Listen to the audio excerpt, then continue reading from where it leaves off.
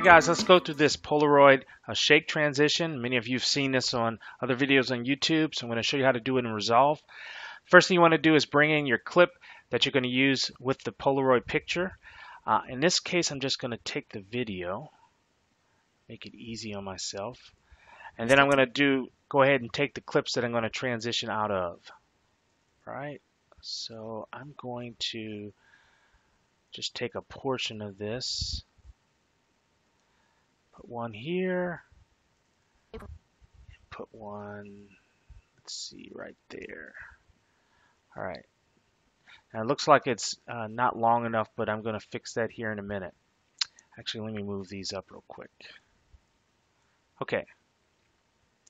The next thing you want to do is, if I look at my transition here for the Polaroid shake, notice it's kind of slow with the shake, so I'm going to speed that up with the speed ramp. But one thing I want to call out is this is really a match move from two clips to one clip. So we're going to have to track these two clips um, onto this one clip. Let's do the speed ramp real quick. Um, retime control. So I want to do it as soon as I begin to shake, right there. So I'm going to go ahead and add a speed point, and we'll continue until it's done, right there. All right, and I'm to change this to, let's just do 200. All right, I'm to shorten this up. I think that's good. So, actually before I sh shorten this, let me go ahead and mark out the point that I want to transition. Right there. Okay, so I'm going to end that here. And then we'll put that there. Now, a couple of things that you should note here. The uh, frame rate of this clip just happened to be of the Polaroid happens to be 30 and the frame rate of the other two clips is 24. My timeline is is 24. Now when you're tracking something that's going to cause all kinds of issues when you try to co uh, copy the track data. So the best way to manage that is to create um, compound clips. Now there's two reasons also why you want to create a compound clip outside of frame rate differences clip duration. In this case, you see I, I, I cropped the uh, clip, but when you're tracking something, it looks at the entire duration of the clip. And so uh, you're going to have issues with tracking uh, if the clip durations are different, as well as um, a speed curve, which or speed ramp, which I, I just showed you I did. Okay. So compound clips will actually fix all of that. So I'm going to make this one. We're just going to call it Polaroid. And then we're going to put these two together and call it Polaroid Transition Clips. Okay. Now we're going to go into the uh, color section and get into the masking and tracking. Okay, so let's go ahead and set up our mask and our tracking. So we're going to first go into Power Windows here, and we're going to select the curve, and we're going to draw an outline. So I'm going to zoom in here of the image right there, there, there. All right, let me make it a little uniform. Give me a little little room here so as it's moving around, we can uh, have a little flexibility. All right, got it there. Um, I'm going to go ahead and invert this and then you see the gray box which uh, will allow the secondary clips to shine through and I'm going to go ahead and set the softness for inside to 1.3. Switch that. Okay. And you can kind of see that it looks like it's, uh, it could be probably a little sharper, but I'm going to leave it there for now. It looks pretty good to me. Okay. All right. turn that back off.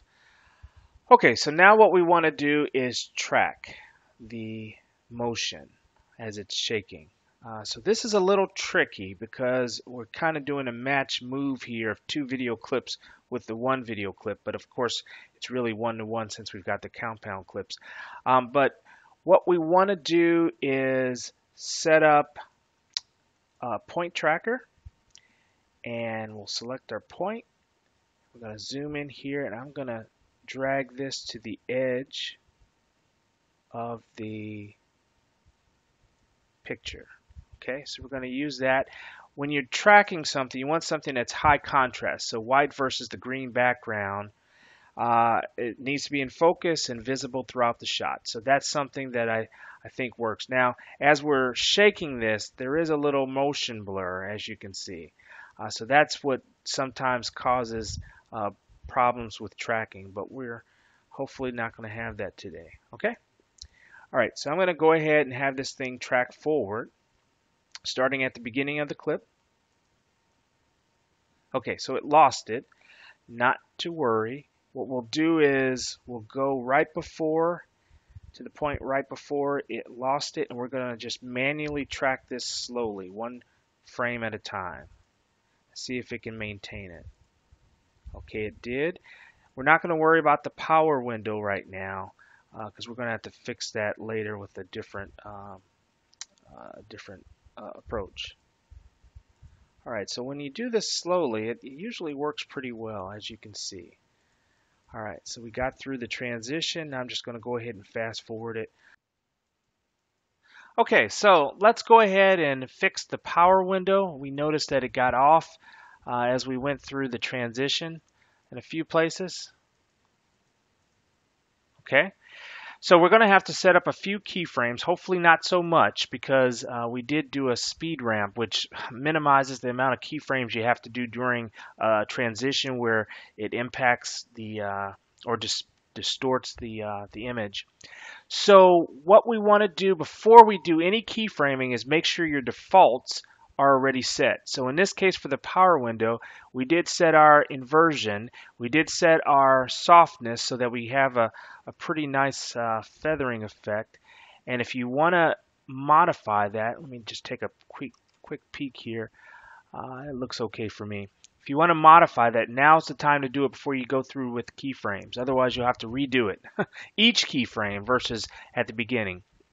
Okay, so let's go ahead at the beginning and we will start our keyframing. To go back here to tracking and select dynamic keyframing here.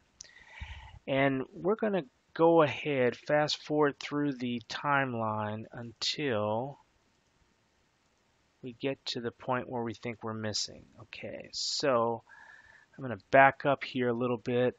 Right about there is our last position before we lose it. So I'm going to go ahead and just move it ever so slightly and put it back into place so it locks in a keyframe.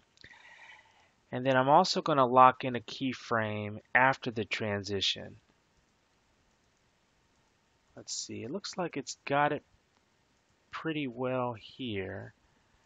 We may have to clean that up just a tad. Uh, let's go right there. Okay, so we're also going to lock this in right there. I'm going to rotate it just so slightly.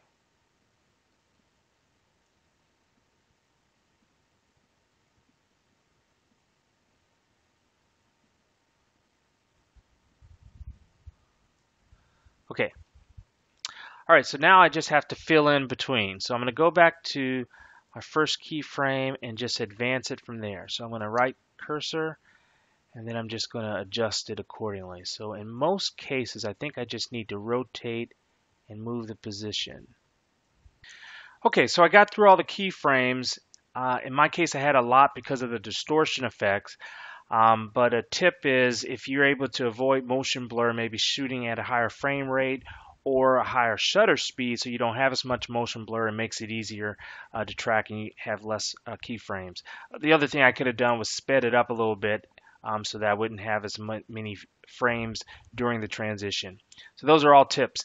Um, so what we want to do now is copy this track data over to our secondary clip. So we're going to click here and do copy track data.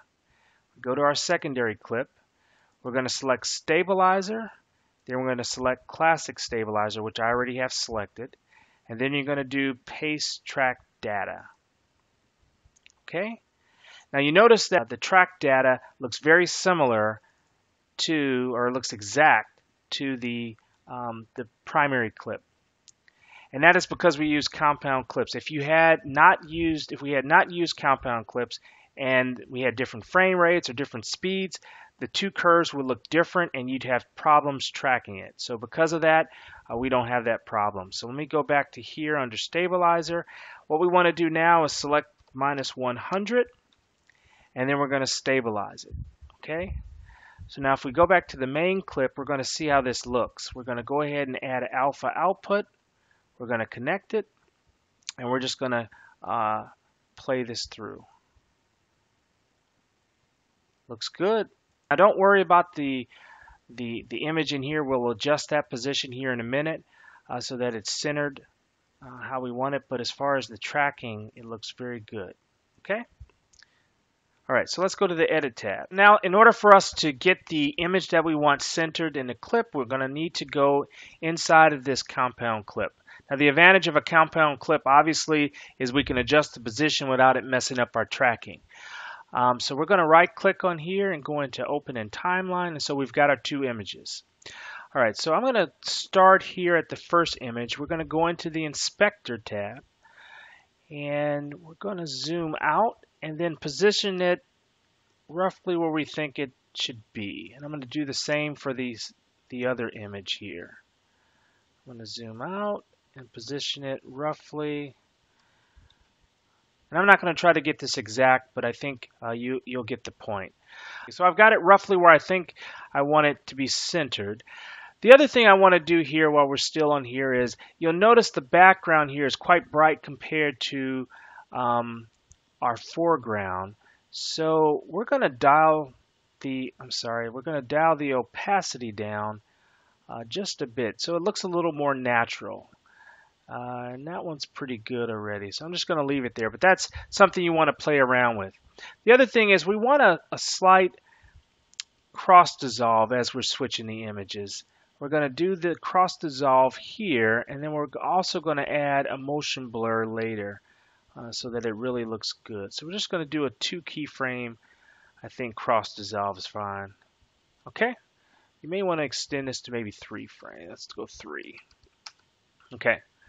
All right, so that's it for this one. Back here on the main timeline, and we're going to take a look at this real quick. All right, that looks pretty good. The other thing is motion blur. Some people want to see a little motion blur as you're transitioning uh, between the clips. And I'm going to show you how to do that. If you've got Resolve Studio, you can just add it here. But if you don't, there's a little trick that I came up with that, that works pretty well and that's called Prism Blur. So we're going to add a node to the secondary clip here. I'm going to drag on Prism Blur. What we're going to do is set up some static keyframes. So the first static keyframe we're going to set is is to turn it. Um, actually, we're going to set the blur strength to zero. Okay, and what we're going to do next is go out right right as we're about to have a little movement right there. We're going to set another static keyframe and we're going to right click here, add static keyframe. We're going to set it back to the default of 0.2, but we're also going to add X position like minus 3.5 or so around there. That gives a pretty good effect. Uh, vignette, we don't need a vignette. You can see very quickly uh, that it gives a little um, and I'm going to forward this through. You can see how it it gives it a little uh, kind of a blur, motion blur uh, look to it. So that usually works pretty well. And I'm just going to go down here to the end, and then I'm going to add another static keyframe, and then just turn it off. Okay, so it's it's non-existent here. Just double check. Ah, it looks like it's still there. Let's just reset everything. Better yet, let's just turn it off there.